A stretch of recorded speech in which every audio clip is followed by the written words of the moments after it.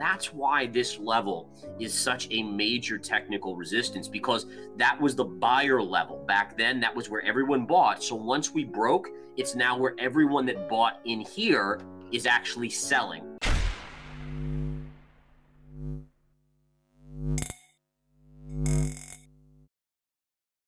Welcome back to Library of Wealth. In the latest interview with Gareth Soloway and Ben Cowen, they address the current state of Bitcoin and why now is a crucial time to watch the crypto market heading into the last part of 2023.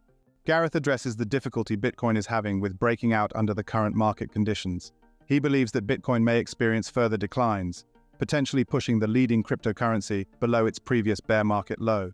After analyzing Bitcoin's price fluctuation in the past, Gareth points out a significant technical resistance level between 41 and $42,000. This technical resistance has made it challenging for Bitcoin to break through. On Monday, the price of Bitcoin decreased as investors anticipated more significant changes in the market and the economy due to potential rate hikes. Additionally, large cryptocurrency holders have been sending unusually high amounts of Bitcoin to exchanges. As a result, Bitcoin briefly dipped below $29,000 before experiencing a minor rebound. Due to the anticipation of the Federal Reserve's upcoming and aggressive rate hikes, Several analysts, Gareth Soloway included, are issuing a word of caution regarding Bitcoin's price. They believe that Bitcoin could potentially drop further to an unbelievable $19,000. The next Federal Open Market Committee meeting is imminent, and it is widely expected that the Federal Reserve will resume its rate hike strategy despite the previous temporary pause.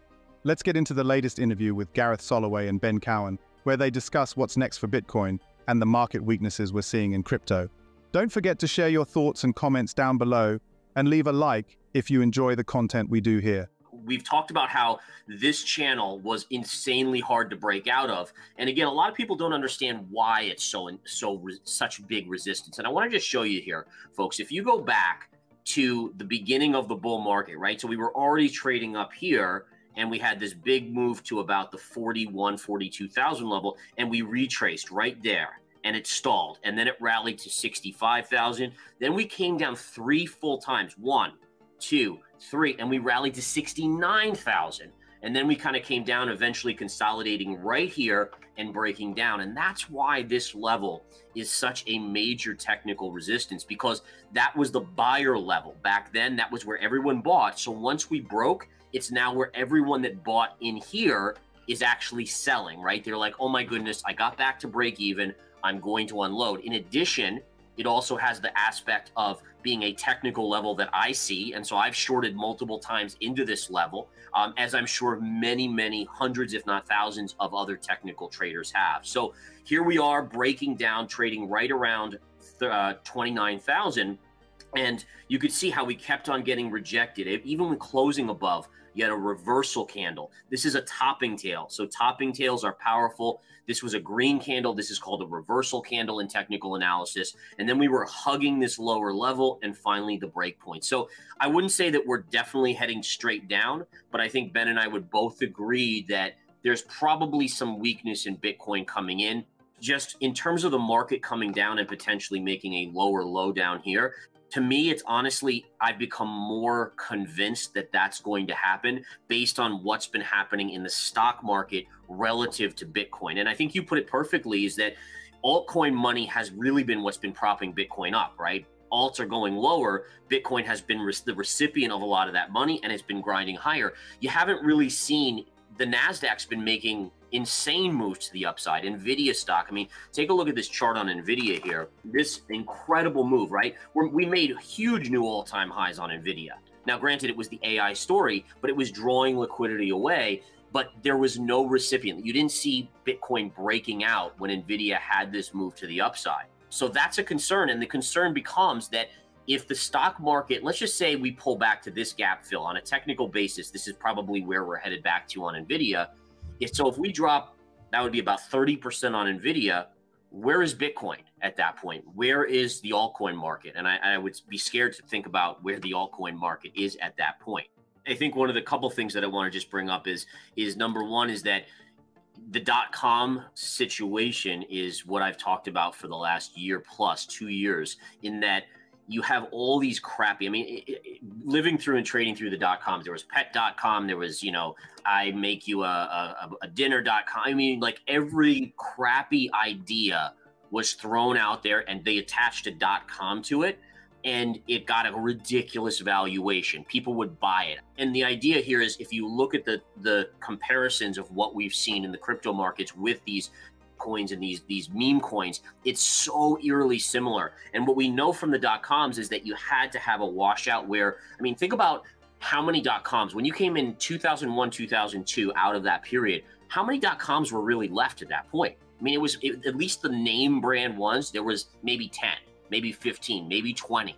Well, very similar. You would probably expect the same thing with the altcoins, right? So there will be some that survive. I think you'd agree with that, Ben. But it will be way less than you have out there. And by the way, if you look at the NFT market right now, I mean, that talk about a market that hasn't even bounced yet. I mean, that hasn't even had a slight bounce. Just take a look at this chart too, which is Fed balance sheet, right? So you had the pop in the Fed balance sheet when the financial crisis, the banks crisis. But if you look here, right, we're now making new lows. And so there's this this the jaws opening up, right? Where you have less and less liquidity in the system, but the stock market has continued higher. And the reason that impacts crypto is because it's it's all liquidity, right? It doesn't matter if it's if it's a stock, if it's a if it's a commodity, or if it's a um, if it's a crypto. It all has to do with how much money is in the system. How much money do people have to actually buy um, buy things with?